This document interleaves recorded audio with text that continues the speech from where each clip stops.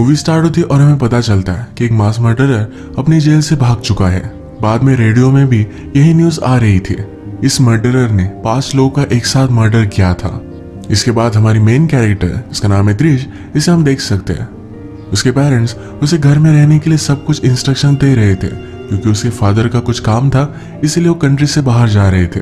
उसकी मदर उसे सब कुछ समझा देती है और कुछ भी उल्टा सीधा करने के लिए मना करती है। इनकी नेबर भी है, जिनका नाम है कंटेंट। इसकी मदर कहती है कि अगर तुम्हें किसी भी चीज़ की ज़रूरत पड़े तो मिस्टर कंटेंट है यहाँ, और वो भी त्रिश पर नज़र रखेंगे। त्रिश के पास बचपन के जो भी कुछ खिलौने थे, वो सब अपने रूम से उसने निकाला और डस्टबिन में डाल दिया। इस बारहवीं को कोई उठाता हुआ हम देख सकते हैं। इसके बाद त्रिश स्कूल के लड़के, जिनका नाम है जेफ और नील हमसे इंट्रोड्यूस होते हैं। इनके स्कूल में एक नई लड़की आई है, जिसका नाम है वैलरी। इसके बारे में बात कर रहे थे।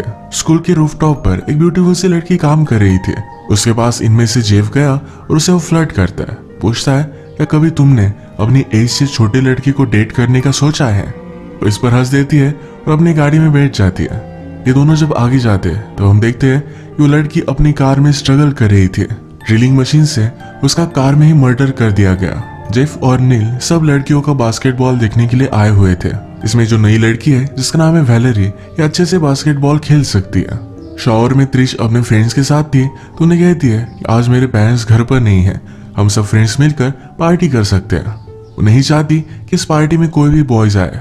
जैसे बचपन में वो स्लीप ओवर करते थे, उसी टाइप से आज भी वो मज़े करना चाहती है। स्कूल की न्यू गर्ल वैलरी ये तेज के घर के सामने ही रहती है तो वो अपनी फ्रेंड से पूछती है क्या हम उसे भी इनवाइट कर सकते हैं? उसे उसकी फ्रेंड डायन इसके लिए मना करती है, क्योंकि वो वैलरी को पसंद नहीं करती।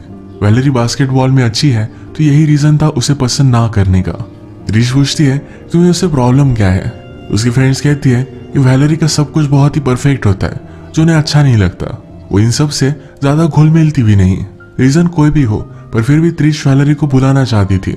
वैलरी ने इनकी सब बातें सुन ली। उसे बुरा लगा और वहाँ से गुस्से में चली जाती है। बास्केटबॉल हॉल के बाहर ही अभी अभी हमने मर्डर होता देखा है। यही मर्डरर और इसे हम स्लैशर भी बुला सकते हैं। सब लड़कियाँ अपनी प्रैक्टिस खत्म होकर बाहर आई। इसमें से एक लड़की, जिसका नाम था डायन, ये कुछ भूल चुकी थी।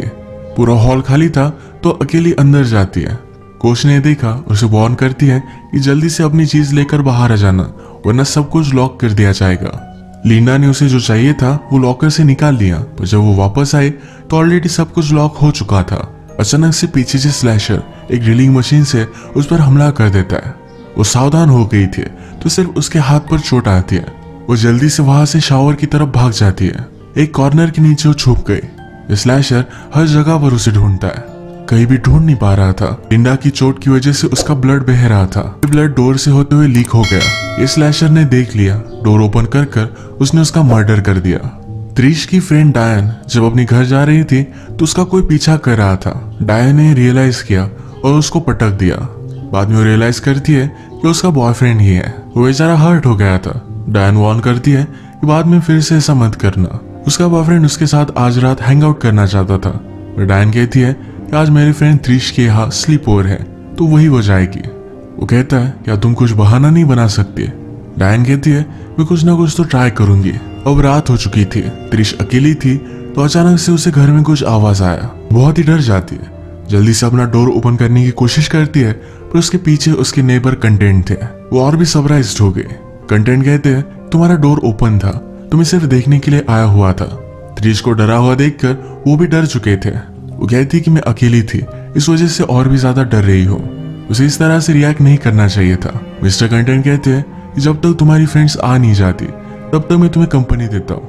यानी कि तुम्हें डर नहीं लगेगा। नेक्स्ट में हम फिर से जेफ और नील को देखते हैं। उन्हें त्रिश के यहाँ के सिल्वर के बारे में पता था। डिसाइड करते कि रात में उनके पास जाएँगे और उन्हें डरा देंगे। थोड़ी देर में त्रिश के यहाँ उसके फ्रेंड्स आए। उन्होंने बियर और कुछ ड्रग्स भी लाए हुए थे। त्रिश डर रही थी कि मिस्टर कंटेंट को पता ना चले। पर उन्होंने देख लिया। उससे कहते हैं कि जरा केयरफुल रहना। वो त्रिश के पेरेंट्स को इसके बारे में नहीं बताएँगे। वो फिर वहाँ से चले गए। त्रिश के घर के सामने वैलरी रहती है। वैलरी और उसकी सिस्टर ये दोनों आज रात अकेले हैं, क्योंकि उनके पेरेंट्स कहीं बाहर गए हुए हैं। वैलरी की सिस्टर वैलरी से पूछती है कि आगे के घर में तो पार्टी चल रही है। क्या तुम इनवाइटेड नहीं थे? वैलरी ने कहा, मुझे इनवाइट किया गया था, पर मैं ही नहीं गई। त्रिश अपने फ्रेंड से बात कर रही थी।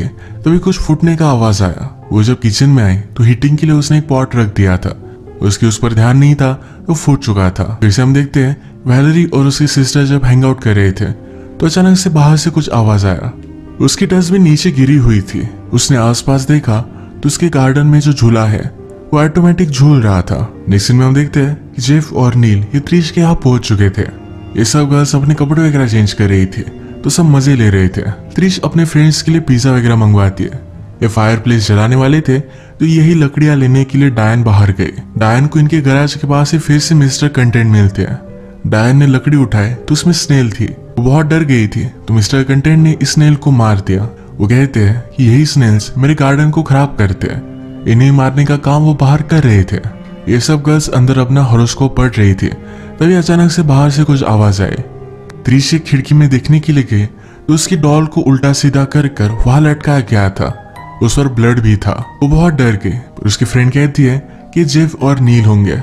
उन्हें पता था कि आज हमारे यहाँ पार्टी है। त्रिश कोई भी चांस नहीं लेना चाहती थी। डायन गराज में गई थी, पर उसने लॉक नहीं किया था। अंदर जाकर वो सही से लॉक कर कर आते थोड़ी देर में डायन को उसका बॉयफ्रेंड का कॉल आया। ये क्यूट सी बातें कर रहे थे तो उनकी फ्रेंड सब कुछ सुनती है। उन्होंने फ़ोन पर हंस दिया और डायन को पता चल गया। अचानक से घर की लाइट चली गई। त्रिश कहती कि हमें जाकर फ्यूज बॉक्स चेक करना पड़ेगा। ये सब डरते हुए स्विच तक पहुँच जाते हैं। त्रिश नोटिस करती है, यहाँ से तो बहुत सारे फ्यूज गायब है। इन्होंने टॉर्च जलाई तो एक आदमी का लेक देखा। वो जल्दी से उसे नीचे गिरा देते हैं। ये हमारे नील और जेफी थे। वो सिर्फ़ उन्हें डराना चाहते थे। इसके बाद ये सब अंदर चले गए। वैलरी को फिर से लगा कि बाहर कोई ना कोई तो है। वो देखने के लिए गई तो पीछे से उसकी सिस्टर उसे डरा देती है। आज रात डायन का बॉयफ्रेंड उसे मिलना चाहता था। तो त्रिश के घर में आ गया। डायन ने गराज का लॉक खोलकर उसे अनलॉक ही रहने दिया। ये दोनों फिर गाड़ी में मेकआउट करने लग जाते हैं। डायन के बॉयफ्रेंड को यही इंटीमेट होना था। पर डायन इसके लिए मना करती है। वो कहता है कि मेरे घर पर कोई भी नहीं है। अगर तुम चाहो तो हम वहाँ जा सकते हैं। डायन ने कहा कि मैं परमिशन लेकर आती हूँ। उसने अंदर आकर त्रिश से पूछा। त्रिश को बुरा लगा। और कहती है मैं तुम्हें कोई भी कंपलसरी कर नहीं सकती। डायन जब फिर से उसके बॉयफ्रेंड की गाड़ी में आई तो बॉयफ्रेंड का सर धड़ से अलग हो चुका था। डायन डर कर कार का हॉर्न बजाती है अपने फ्रेंड्स को बुला रही थी। घर में उसके फ्रेंड्स ड्रिंक बना रहे थे तो मिक्सर की आवाज़ की वजह से वो कुछ भी सुन नहीं पाए। स्लैशर वही था तो उसने डायन पर हमला कर दिया। आगे वैलरी और उसकी सिस्टर ये हॉन्किंग सुनती है। सिस्टर पूछती है वहाँ चल क्या रहा होगा? वैलरी कहती है, ये सब लोग हमेशा पार्टी करते रहते हैं। नॉइजेस से हमें वरी करने की कोई भी ज़रूरत नहीं है। थोड़ी देर में त्रिश और उसके फ्रेंड्स का पिज्जा आया। इन्होंने जब डोर ओपन किया तो पिज्जा बॉय के दोनों आँखों में ड्रिल किया गया था। डायरेक्टली उसकी बॉडी ही इन पर पड़ी। ये सब बहुत ही डर चुके थे। जल्दी से दरवाज़ा बंद कर लेते हैं। ये जब सब हो रहा था, त्रिश फ़ोन पर अपने कोच से बात कर रही थी। इन लड़कियों की चीखें कोच ने सुन ली। त्रिश जल्दी से फ़ोन रख कर पुलिस को कॉल करने की कोशिश करती है। वो अपना एड्रेस बताने वाली थी, तभी स्लैशर ने उनकी घर की लाइन काट दी। कोच वरीड थी तो उसने वैलरी को कॉल लगाया। वैलरी कहती है शायद वो पार्टी ही कर रहे हैं। आपको कोई भी वरी करने की ज़रूरत नहीं है। कोच कहती है, पर फिर भी मुझे देखकर आना पड़ेगा। री और उसके फ्रेंड्स ने सब घर को लॉक कर लिया था। अब आगे क्या किया जाए, इसकी वो प्लानिंग कर रहे थे। डिसाइड करते हैं पूरे घर के लाइट्स वो बंद कर देंगे। यानी कि स्लैशर को कुछ भी पता ना चले। घर की टेलीफोन लाइंस कट चुकी है इन्हें किसी ना किसी से तो कांटेक्ट करना ही पड़ेगा। जेफ ने कहा कि आगे ही वैलरी का घर है। वहाँ जाकर हम हेल्प मांग सकते हैं। इन्होंने डिसाइड किया कि जल्दी से भागकर वो जाने वाले हैं। अगर एक साथ गए तो दोनों मारे जाएँगे। तो इसलिए अलग अलग रस्ते से हो जाएँगे। उन्होंने अपने साथ नाइव्स ली सबको बचाने का यही तरीका था। तो जान की बाजी लगाने के लिए ये दोनों रेडी थे। जेफ बाहर निकलकर जल्दी से गराज में गया। वहाँ पर डायरेक्टली उसे डायन की बॉडी ही मिलती है। उसके पीछे स्लैशर खड़ा था। उसने उसके शोल्डर में ही ड्रिल कर दिया। ये सब होते वक्त नील सक्सेसफुली वैलरी के घर तक पहुँच गया था। डोर पर नॉक करता है, पर वैलरी एक हॉरर मूवी देख रही थी। इस मूवी का नॉइस सबसे ज़्यादा था तो कुछ सुन नहीं पाई।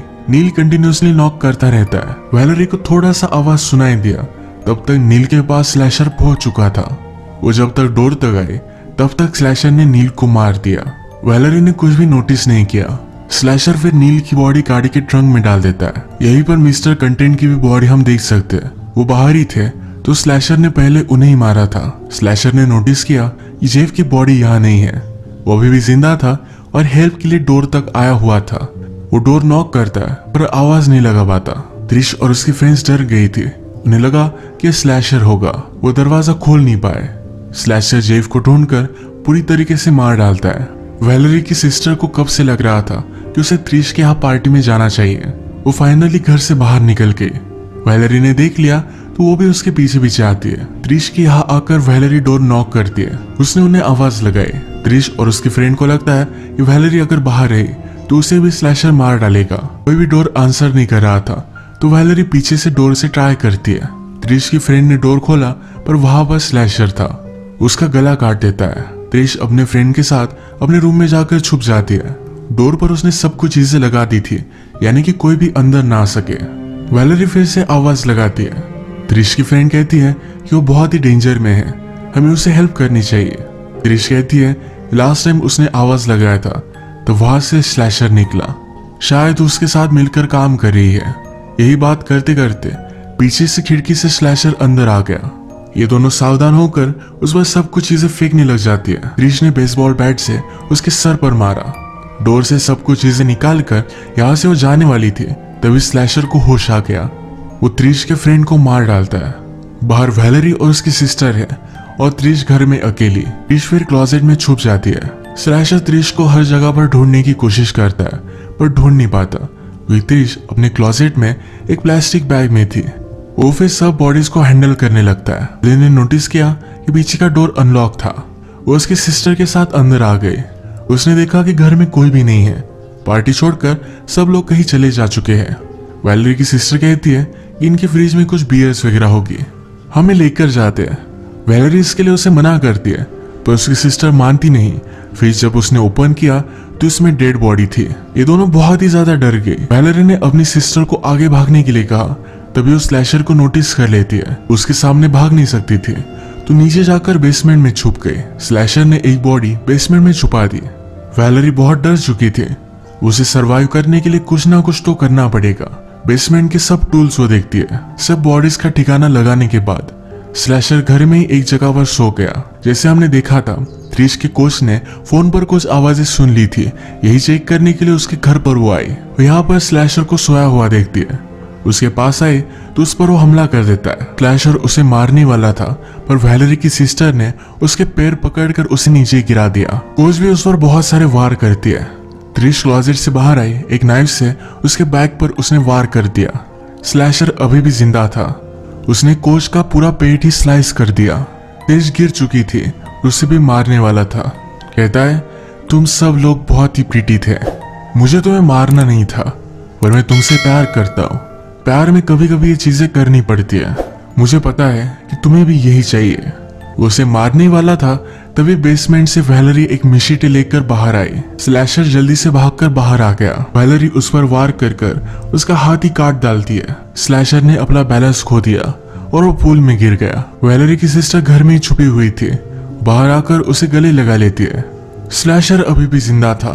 वो पुल से बाहर आया और इन पर झपक पड़ा। वैलरी ने रेजिस्ट किया। भागकर उस पर गिरने वाला था। तभी वैलरी ने मिशिटी उठाकर उसके आर पार कर दी और फाइनली उसकी डेथ हो गई।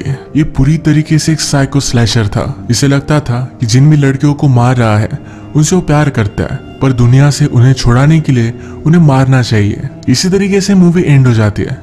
हम फिर से मिलेंगे और एक नई मूवी के साथ। तो दिले थैंक यू